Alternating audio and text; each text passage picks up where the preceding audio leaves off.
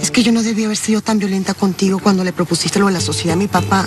Por lo menos debía haberte dejado hablar. Es que la sola idea de saber que me estabas usando me sacó de quicio, Francisco, y de lo único que tenía ganas era de matarte. y casi lo lograste. Oye, ¿qué te parece si dejamos hablar del pasado y hablamos de todo lo que viene? ¿Mm? ¿Trato hecho? Mira, está de viaje, pero cuando regrese le voy a pedir que, que tome cartas en el asunto para ver qué hacemos con Marcia y con Paula. ¿Mm? A veces es sufrible estar viviendo con ella. Más de lo que te imaginas.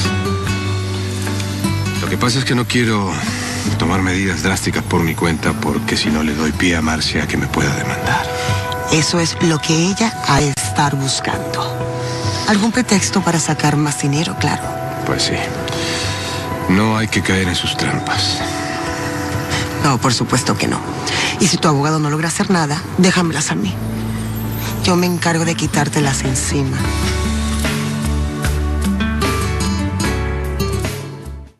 No, no. De ninguna manera voy a permitir que te metas en problemas por Marcia y por Paula. Con que las ignores es más que suficiente. Se la van a pasar haciéndonos la vida imposible. Y por mucho que yo trate de controlarme, el que me busca me encuentra. Señorita, ¿no le parece que estamos perdiendo demasiado tiempo hablando de Marcia y de Paula? A ver, todo este tiempo que estuve afuera, ¿no me extrañaste ni un poquitito así? Sí. Un poco. ¿Sí? ¿Solo así?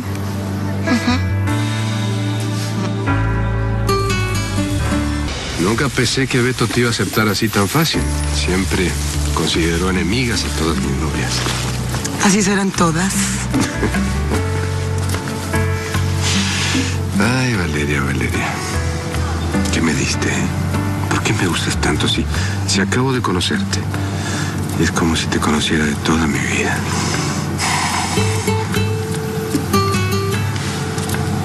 ¿Por qué me miras así? ¿No me crees o qué? Francisco, toda esta ilusión que estamos viviendo es algo muy bonito, pero dame tiempo, sí. Y date tiempo tú también. El verdadero amor, la verdadera confianza, se van dando poco a poco. No siempre. No siempre. Mira, yo no pienso viajar, tú no piensas viajar, los dos estamos aquí. Entonces, está bien, como quieras, vamos a esperar. Pero hay algo que no puede esperar más. ¿Sabes qué es? Mm, Mira para allá, mira para allá, mira para allá.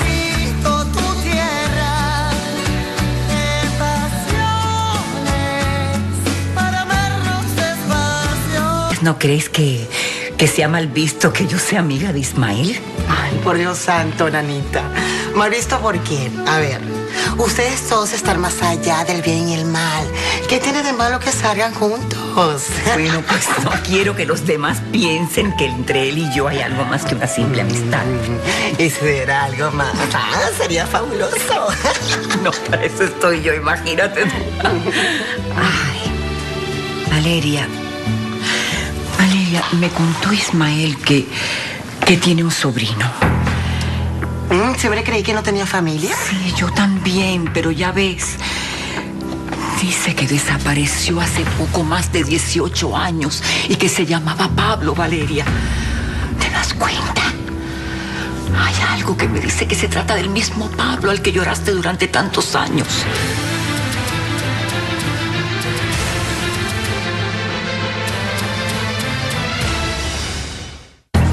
Pablo siempre hablaba de su tío.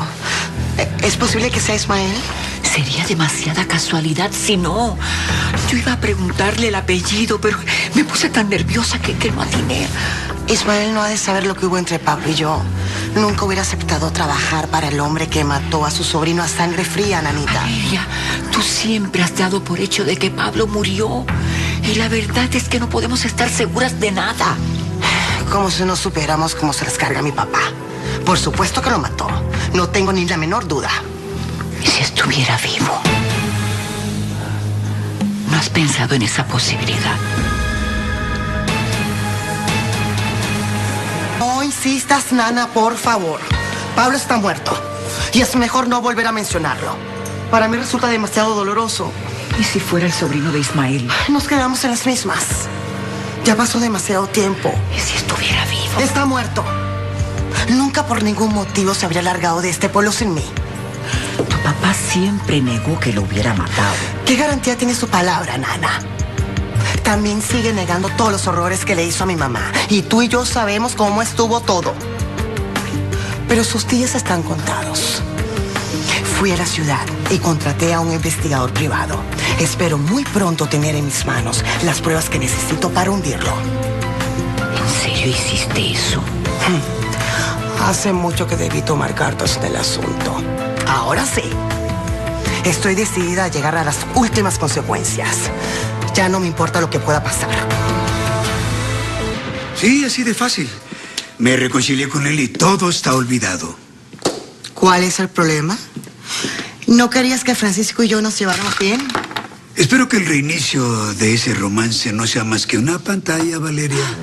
Papá, me dijiste no una, sino varias veces que si lo quería, me lo comprabas. Está bien, papá.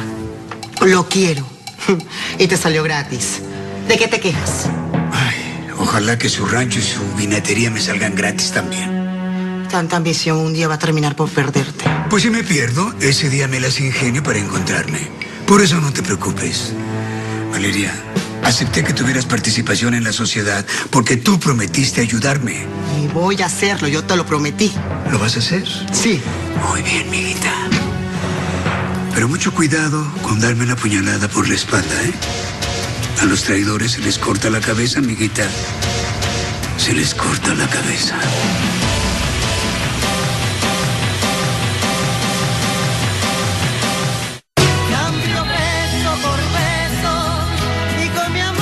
Acepté que tuvieras participación en la sociedad porque tú prometiste ayudarme. Y voy a hacerlo, yo te lo prometí. ¿Lo vas a hacer? Sí. Muy bien, miguita. Pero mucho cuidado con darme una puñalada por la espalda, ¿eh? A los traidores se les corta la cabeza, amiguita. Se les corta la cabeza. ¿Qué es lo que pretendes? ¿Que me case con Francisco y busque luego la manera de despojarlo de todo lo que tiene? Esa sería una muy buena posibilidad, mija. Papá, mira las cosas que dices. ¿No te da vergüenza? ¿Vergüenza por qué? Vergüenza es robar y que te agarren. Y jura que no me van a agarrar, mijita. No me van a agarrar. Ya, papá. No se hable más del asunto. No tiene sentido. No te mojes los pies antes de meterte al agua. Francisco y tú ni siquiera han firmado la sociedad. ¿Para qué anticiparse? Para que al que madruga Dios lo ayuda. Llegado el momento, yo te voy a decir lo que tienes que hacer. Eres un experto en esas cosas, ¿verdad? ¿Quieres que haga con Francisco lo mismo que le hiciste a mi madre? ¿Qué hubiera sido de este rancho sin mí? Nada. Siempre te empeñas en hacer aparecer a tu madre como la gran víctima. Y te equivocas. ¿Sabes qué fue ella? La ganona. Porque yo hice de este rancho el número uno.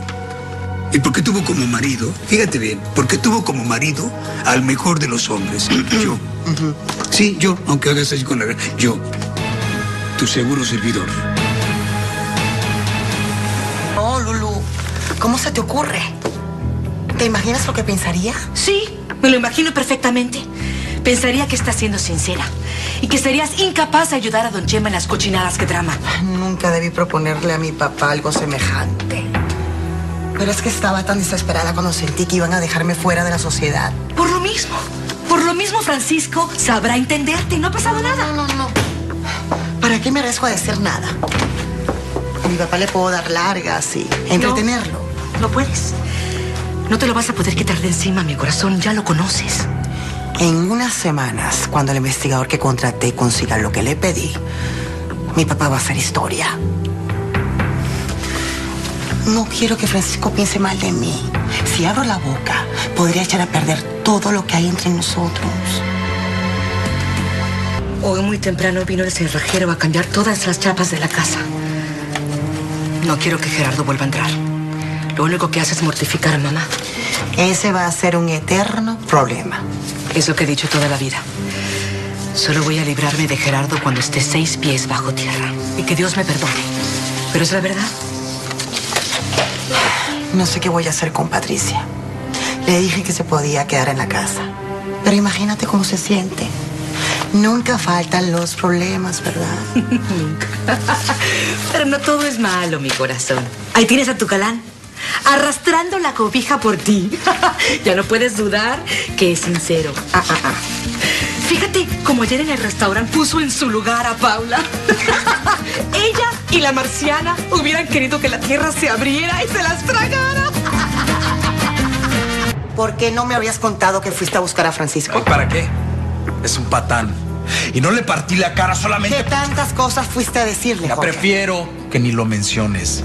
¿Para qué? ¿Qué más te da lo que él y yo hablamos? Nos reconciliamos. Ay, Valeria. Me gustaría que se llevaran bien, que fueran amigos. En serio que a veces eres tontita, Valeria. ¿Cómo es posible que dejes que No Francisco... voy a permitir que las intrigas de Marcia y su hermana vuelvan a interferir entre Francisco y yo. Ah, pero sí vas a permitir que te use, ¿no? Jorge, cuando lo conozcas en buen plan, vas a darte cuenta de inmediato que no es como Marcia te había dicho. No me interesa tratarlo en lo más mínimo. Si tú estás dispuesta a caer en sus juegos, yo no. Y ni trates de juntarnos para que platique con él porque, porque solo vamos a pasar un muy mal rato todos. Ese tipo no me interesa. Bueno, estaba muy agresivo y tuve que sacarlo de la casa. Me molestó que se pusiera a defender a Marcia con, con tanta pasión. He discutido mucho con él por lo mismo. ¿Qué hay entre ellos, eh? Dice que solamente son amigos. Aunque a veces he llegado a pensar que hay algo más. Sí, sí, eso parece. Jorge insiste en que no. Lo que más me gustaría es que ustedes se la llevaran bien. Por mí no hay problema, mi amor, pero de ninguna manera voy a aceptar que Marcia sea la víctima. Y mientras tu hermano siga en ese plan... Bueno, mira, ¿qué te parece si vamos a comer algo? Hay muchos asuntos de negocios que tenemos que hablar. bueno, también nos vamos a pretexto para que hablemos de, de nosotros. ¿Qué te parece? Eh, déjame pensarlo, Francisco. ¿Qué quieres comer? Eh, ¿Qué te gustaría comer? no sé. Belinda me detesta. Desde pequeña mi papá se ha encargado de ponerle en mi contra. ¿Y con qué motivo? Fastidiarme. Él no necesita motivos para hacerle daño a los demás. Pues si te llevas tan mal con tu papá, ¿por qué, ¿por qué nunca te fuiste de la casa? Porque la casa es mía. Y de mi hermano. Bueno, de mis hermanos. ¿Por qué no haces que se vaya él entonces? No puedo, Francisco. Legalmente todo es de él. El rancho, la casa, el dinero. Eran de mi madre. Y mi padre se la robó de la manera más vil. Se lo robó todo. Pero algún día voy a demostrar todas las trampas que hizo. Y encargarme de que reciba su merecido.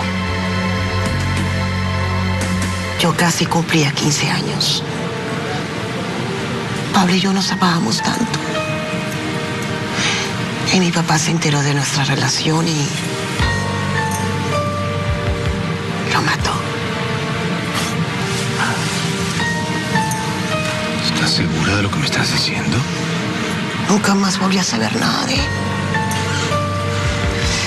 Se lo tragó la tierra. En un abrir y cerrar de ojos, desapareció para siempre. Valeria, tú no puedes acusar a tu padre de algo que no te consta. Dime qué otra explicación se te ocurre. Pablo nunca me hubiera abandonado. No sé, a lo mejor tu padre lo obligó a huir, no sé. Habría vuelto por mí.